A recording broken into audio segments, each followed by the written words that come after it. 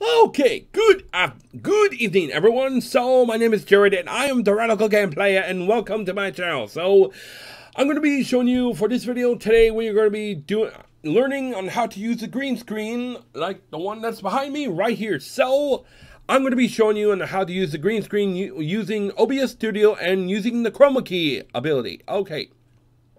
So, what green screens are are literally for broadcasting and photography and and literally also for game streaming to make to make their broadcasts perfectly. So, that's all I'm that's what I'm trying to say about. I don't know what to say. So, all right. So, let's get started in this video as of right now. So, let's begin. Alright, so as you can see, uh, we are on my desktop right now, so See, look at that, nice and clean. So, all right, so, all right, so the first off, here's my webcam right here. So the first off, we need to go to the video capture device. So literally that's my webcam right there. So, so what we need to do, like, um, in order for to use, to activate the chroma key, like, all we need to do is to go into filters, and not only that, so all right, so see the effect filters right here. So what we need to do in order to go, in order to literally go the chroma key. So you have to see this, uh, this thing right here, which says chroma key and click that.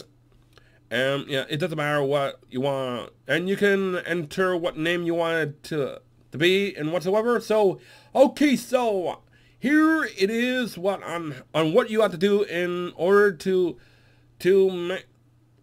Okay, still, this is chroma key right here. So, it is not 100% to set up. So, what you need to do in order to to make it right, like, make it look better. So, as you can see, it's all staticky back here. So, so what you need to do is lower... Well, actually, what you need to do is follow my instructions. Well, so, like, you need to move the similarity right here um, to to whenever it gets very dark where you can't see the green screen. Okay. Until it is very smooth. That way you can see that way you can see me. That way you can see me without anything else. And the smoothness and what you need to do is to make it even smoother is to use smoothness, which I suggest that hold on, hold on, give me a sec. Which I suggest that you lower it to around to around 60 to 50.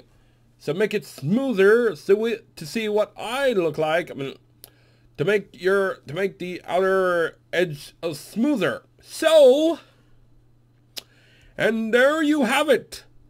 But that is not the fun part. Well, not just yet.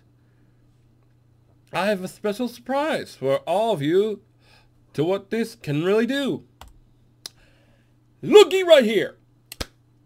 I'm in the I'm in the Xbox One. This is amazing. I finally am in the video game. Oh, wow. This is unbelievable. I have never had a green screen before, but this is amazing. Really. Okay, all right. That's all I wanted to show you, everyone. So so this is how that is how you set up uh, set up the green screen with OBS Studio, and that's pretty much all you have to do. And that that is all the time I have for this video and for the rest of the day today. So I will get back to you as soon as possible. So please don't forget to like and subscribe to what you see in this video, and leave a comment, and I'll get back to you as soon as I can. And all right, have a good day. So my name is Jared, and I'm the Radical Game Player. Have a good night farewell, and hope I hope you all like this video. Peace out. Bye-bye. Peace out.